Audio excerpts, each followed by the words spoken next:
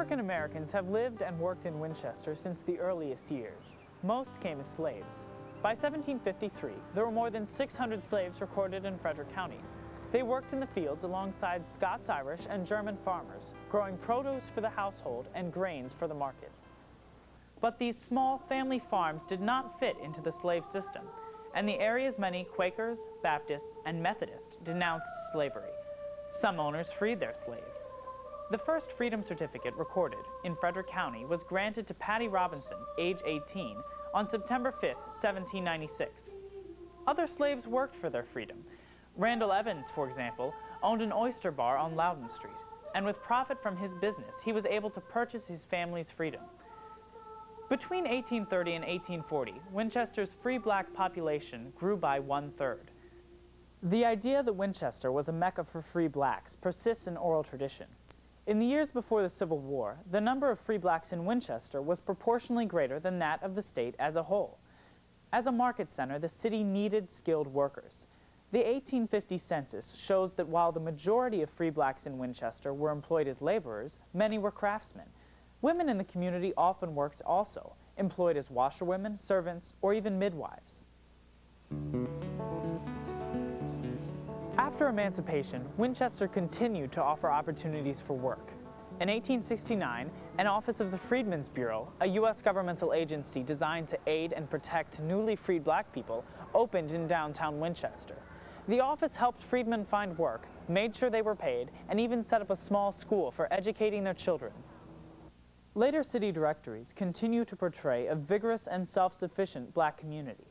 African Americans were barbers and confectioners, stonemasons and practical nurses. They ran tourist homes and hotels, beauty parlors and funeral parlors.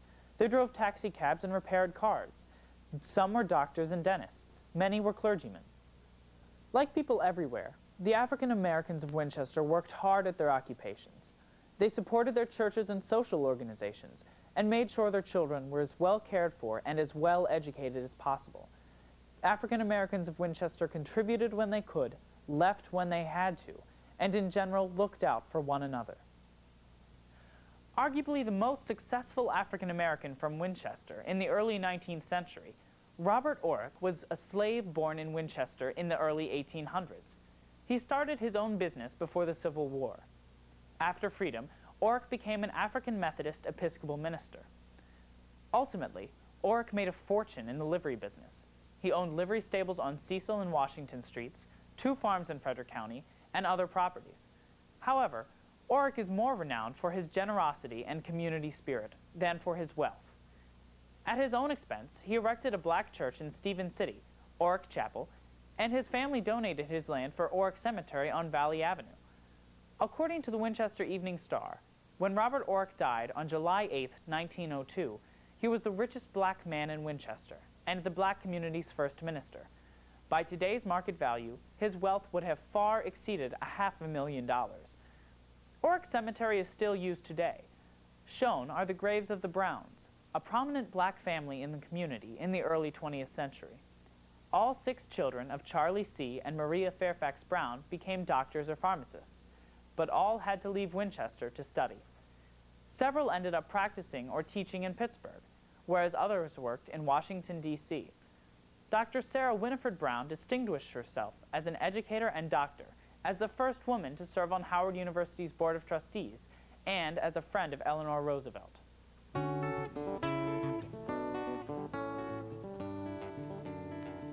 Religion has always been an integral part of the local African American community. John Mann United Methodist Church is the oldest organized black church in Winchester founded in 1857 at Market Street Methodist Church under the leadership of Reverend Robert Orrick. The church's current building was completed in 1858 and named for John Mann, who had promoted Methodism among blacks and donated land for the church building. On December 26, 1858, the new church was dedicated in a ceremony led by two white ministers and two black ministers. In 1893, John Mann became independent from Market Street Methodist Church and became a part of the Virginia District in 1968 as it is today. Another African American church in downtown Winchester is Mount Carmel. Mount Carmel, a Baptist church, was organized in 1866 by Reverend Nathan Cook Brackett, a white Baptist minister who moved to the Winchester area around 1865. The church moved to its current site on Braddock Street in 1869, where services were held until 1890, when the building was destroyed by fire. Finally, the church was rebuilt in 1893 on the original site. Since then, the church has flourished. Shiloh Church is much older than its current building.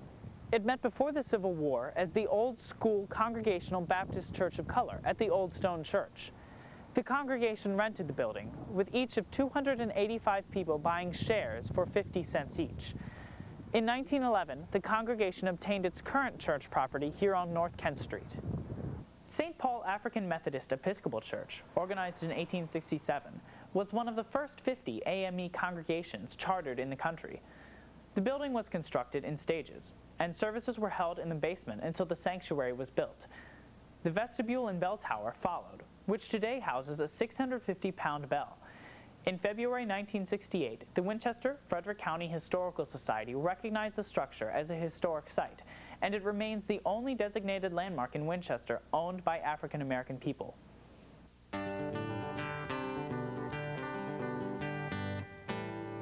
The first public school for black children in Winchester and the surrounding area was established in 1875. Called the Winchester Colored School, it was located at the Old Stone Presbyterian Church on Piccadilly Street, the oldest church building in Winchester, built in 1788.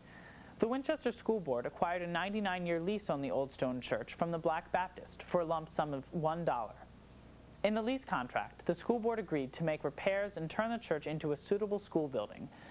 School board minutes of May 17, 1878, show the repairs totaled $446, a relatively large sum in those days. In 1916, the school's name was changed to Frederick Douglass School to honor the black abolitionist. By that time, however, the school was beginning to be overcrowded. At its peak, 183 students were pressed into the three classrooms that made up the school. There were only four teachers, and students had to attend in half-day shifts. The building was heated by a single wood stove that the students themselves maintained and according to a 1924 Winchester Evening Star article, provided inadequate ventilation and light, and was far below the state requirements in sanitation. The article also reported that the school children had no place to play but the open and dangerous Piccadilly Street, one of the main arteries leading into the city. In 1924, the black community took action to protest the overcrowding of the school. The Winchester Evening Star reported that John Mann Methodist Episcopal Church was filled to its capacity last night with school patrons and taxpayers of all description of the city of Winchester, who were uncompromisingly bent on improving the housing condition of their public school. Following the meeting, the Winchester School Board received a petition stating that if the city didn't provide adequate facilities for the education of black children, there would be future meetings and protests. Finally, construction of a new school building began in 1925 at a cost of more than $30,000. The money for the school came from two sources. First, from Judge John Handley's bequest that was used to build the then all-white Handley High School, and second, from the State Literary Fund. Two years later, on September 5, 1927, the cornerstone of the new school building on North Kent Street was laid.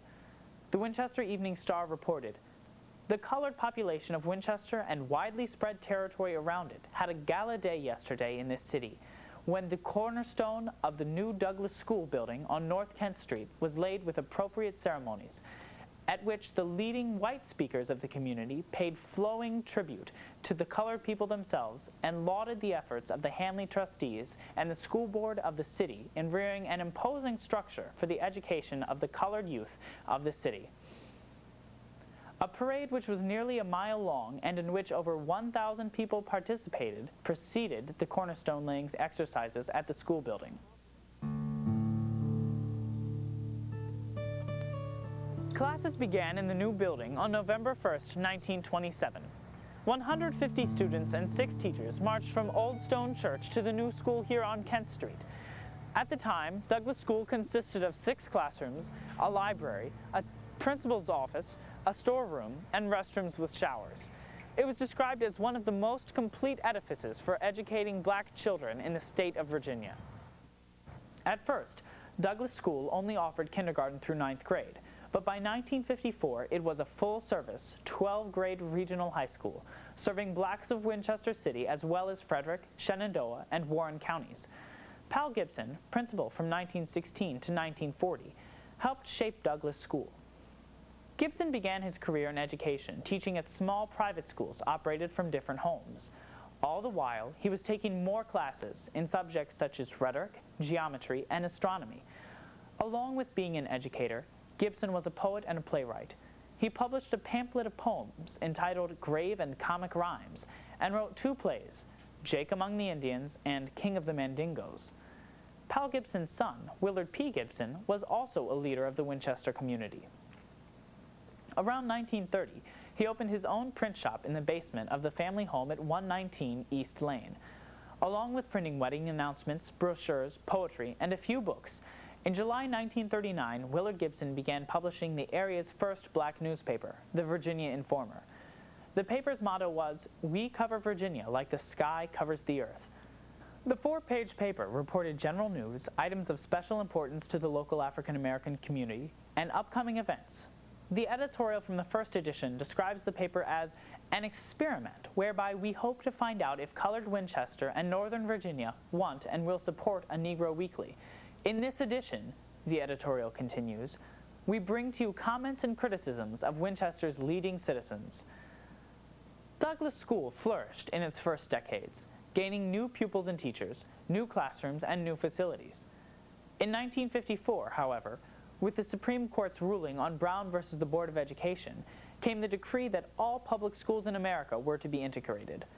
Like other southern cities, Winchester was slow to begin this process.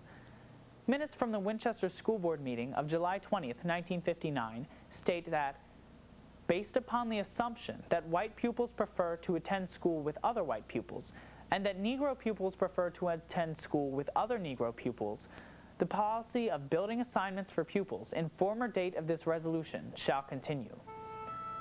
Meanwhile, local African American community sought to integrate other areas of Winchester's community life led by the diplomatic effort of persons such as Garfield Prather and William Brown, local blacks struggled to gain equal status not only in the eyes of local law, but also in the eyes of local society.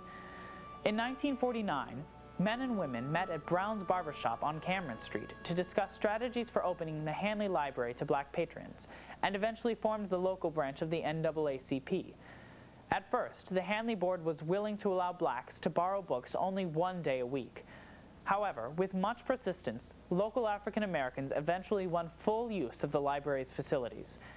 After integrating the library, the community moved on to the commercial sectors of life. Black leaders convinced white retailers each to hire one black employee so that all area stores would be equally integrated. And after meeting with the owners, young blacks went to white-owned restaurants and groups and demanded and eventually received service. Next, local blacks turned their attention to achieving integration in the Winchester school system. In 1962, a group of black students sued the Winchester City School Board for transfer from Douglass School to Handley High School. The student suit was not granted, but the school board's answer to the suit shows that at the time, eight years after the Supreme Court's ruling on Brown, there were no non-white students at Handley, and there were no white students at Douglass.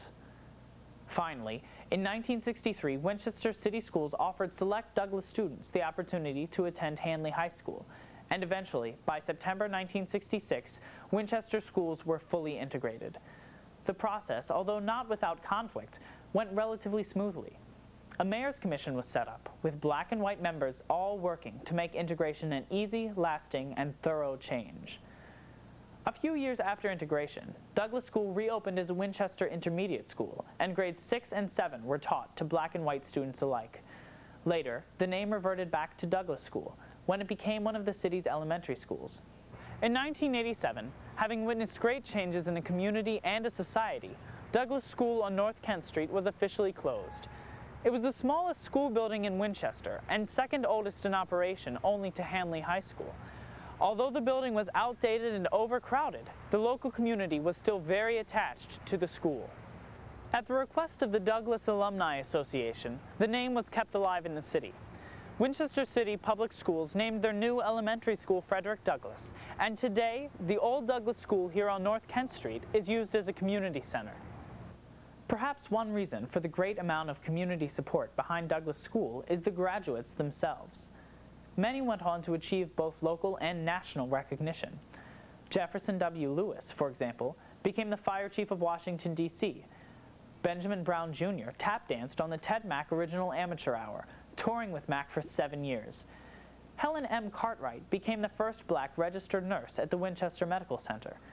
And John Kirby became a nationally acclaimed jazz musician. Kirby was born Johnny Kirk on December 31, 1908. At a young age, he learned how to play the piano, and Pal Gibson, at the time principal of Douglass School, taught Kirby to play the trombone. In 1926, Kirby moved to Baltimore to play the tuba, and then on to New York City, where he played with Fletcher Henderson's band, the premier black jazz band of the 1930s. While in New York, he recorded with jazz greats such as Benny Goodman.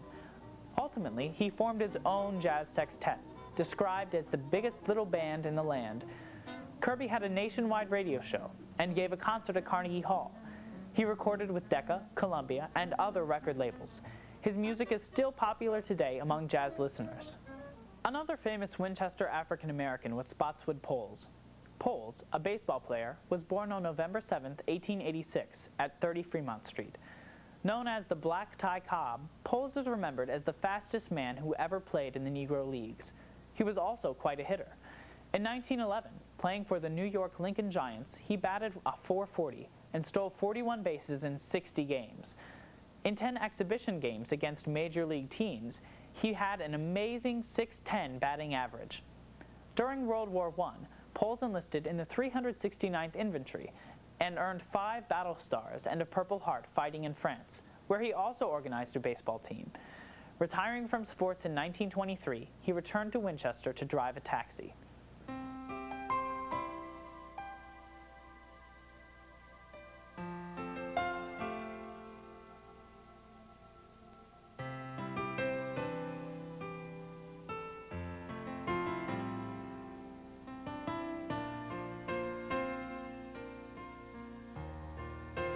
Winchester's local African American community holds a vast number of amazing, inspiring stories, and it has been a privilege and an honor for me to research them. However, there are many that still need to be told. One such story is that of Judy Humbert. Miss Humbert, a graduate from the segregated Douglass School, has since gone on to become the first black member of the Winchester City School Board. She has served on the boards of numerous community organizations and has become the unofficial historian of Winchester's African American community. All members of the community look to her for much more than historical information, however. Miss Humbert has become a symbol of the strength, spirit, and vitality of the local black community. I hope young Afro-American students who view this video realize from the story of the Brown family that anything is possible if you set your goals high and work hard. I hope all students will be encouraged to get involved in worthwhile projects that satisfy you and benefit others.